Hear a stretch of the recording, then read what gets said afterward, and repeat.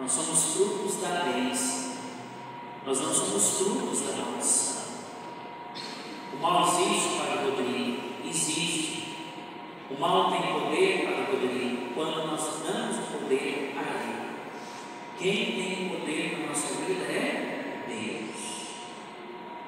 E por mais que os ventos se dão ao contrário, e por mais que nós passamos as dificuldades desta nós não podemos pautar as nossas vidas neste mundo. Nessa missa nós celebramos também hoje a Páscoa, a morte inocentemente do Edgar Filho. Há poucos dias nós celebramos seu irmãozinho Noah, uma mãe que teve trigêmeos. Dois não nosso meio. Um faleceu há poucos dias, o outro faleceu hoje. Esse dia estamos rezando o sétimo dia ano. Nesse dia nós paramos para receber as bênçãos de Deus. Nesse dia nós escutamos que, orando com poder,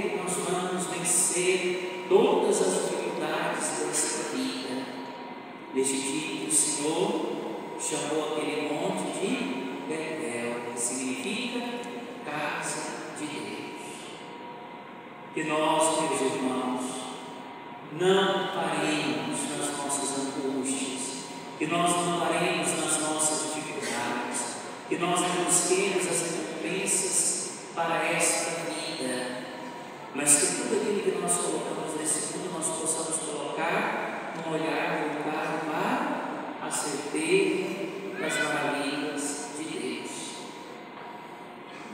Então nós possamos hoje abrir o nosso coração, pedir essa bênção empreendedora, pedir essa graça de Deus nas nossas vidas, confiar no nosso trabalho, confiar na nossa luta, confiar nos nossos afazeres, lembrar com muito carinho de todos os nossos irmãos enfermos, lembrar de todos aqueles que pedem que precisam da nossa oração, lembrar com muito amor de todos aqueles que nos são caros, mas ter a grande certeza de que esta palavra tão bonita percorre a nossa alma. Todas as famílias da terra serão abençoadas.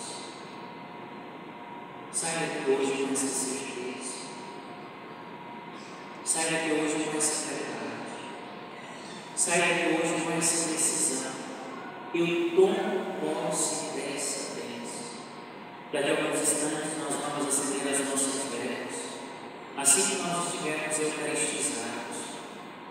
nós recebemos a Eucaristia, assim que nós participarmos do banquete do corpo e do sangue de nosso Senhor Jesus Cristo, e que esta vela acesa, que outrora possamos colocar aos pés da Sagrada Família, ou levar para as nossas vidas, seja para todos nós esse sinal dessa bênção que Deus tem conosco.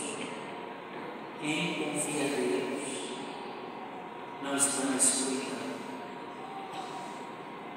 Às vezes, às vezes, passamos por momentos difíceis, mas não são breves. Você precisa acreditar nisso. Você precisa tomar posse disso. Você precisa crer nisso.